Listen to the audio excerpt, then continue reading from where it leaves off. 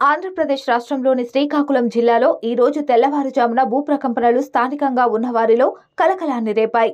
ఇచ్చాపురం పరిసర ప్రాంతాలలో నేడు తెల్లవారుజామున మూడు గంటల నలభై రెండు నిమిషాలకు భూమి స్వల్పంగా కంపించినట్లు స్థానికులు చెబుతున్నారు. అందరూ మంచి నిద్రలో ఉన్న సమయంలో ఒక్కసారిగా భూమి నుంచి పెద్ద శబ్దాలు వినిపించాయని కొద్దిగా భూమి కంపించినట్లు స్థానికులు వెల్లడించారు.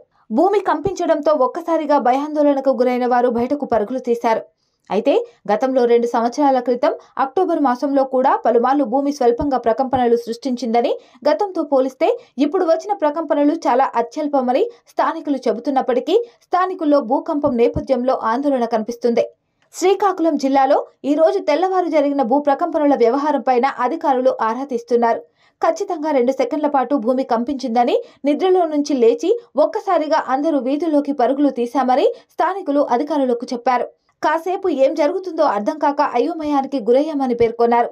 మళ్ళీ కాసేపు ఇంట్లోకి వెళ్ళడానికే భయపడ్డామని వారు చెప్పారు. అయితే భూకంపం భారీ స్థాయిలో వచ్చి ఉంటే తమ పరిస్థితి ఘోరంగా ఉండేదని స్థానికులు చర్చిస్తున్నారు.